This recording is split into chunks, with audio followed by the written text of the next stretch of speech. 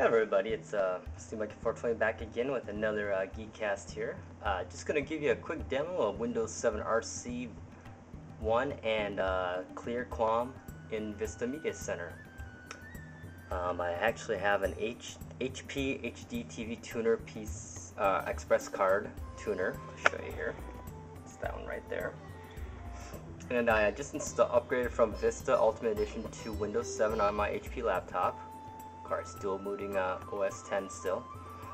And uh, to my surprise, after I configured my tuner, I found out that, hey, we support Clear QAM now. Which, what does that mean? Basically, Clear QAM is it lets you receive and decode and view unencrypted HD channels over a coaxial connection. So basically, I have basic cable, and in turn can now get full HD by just using my uh, basic cable connection here. So, and what it does too, it lets you do HD via coaxial without a cable card, since the channels are unencrypted. Uh, just a note, the Cyberlink Power DVD uh, Blu-ray plugin does not work, at least not with my, uh, not the Blu-ray aspect of it, with Windows 7. It does work nicely though in Vista Media Center. So we'll just quick look at just our guide here. Right now it looks like I'm recording, I believe, a little Family Guy here. Let's see. So you'll notice here we have these other channels too. These are actually uh, Microsoft ones, Internet TV type ones. So let's see, we'll just take a look at the news just for fun. Um, it actually will connect to the internet and we'll get some MSN videos, business related ones. So let's see here, we'll look at the housing prices down, which is a pretty obvious news story I would say. It uh, looks like it's about 480i resolution wise.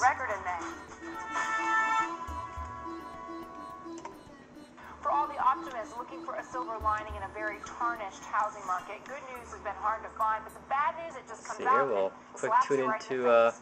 the Nationals here's uh, just to prove it to you, 29.1. It's an HD channel. It's a uh, Clear QAM one. Getting it in here. Visit Carsoup at my29tv.com. So that's kind of the uh, the whole uh, HD factor going on there. And you see I have my, I just actually added only my HD channel since I don't plan on recording any of the analog ones. Um, Radio Tuner also works in Windows 7. Got the, of course, movies, music areas. Let's see here how this looks. I haven't really messed around too much. Does the album art, of course, like, you know, like all Windows. Um, so yeah, just some quick Vista, or uh, Windows 7 Media Center. Let's see some fun stuff in um, Windows 7 here. I, I personally like the Windows, how you can do, how you handle Windows in.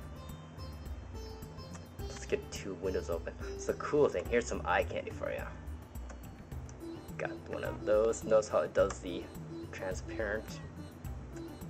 Then you got the old Alt or uh, Start menu tab styled. Of course, you have you can do one of these minimize the desktop. You can highlight when you hover, previous. Pretty neat, huh? Of course, you have one time you can close all windows then. So yeah, some cool stuff. Um, again, my Netflix plugin for Media Center also did not work, and also the um, the Power DVD Blu-ray add-in did not work either. So, two things. Uh, of course, you have your widgets here on the desktop you can use to pull up the shows you've recorded, kind of go through them, give you a preview. So, you know, kind of cool. Nonetheless, though, Clear QAM, awesome. That's one reason I know I will be upgrading to Windows 7 on my HP. Desktop, I think I'll stick with Vista for right now, even though I haven't had, since I have not had any problems and don't feel like purchasing an all license. But laptop-wise, HP Express card-wise, yeah, Clear QAM, baby, built in. Finally, Microsoft. Alright, don't want to bore you anymore. Peace!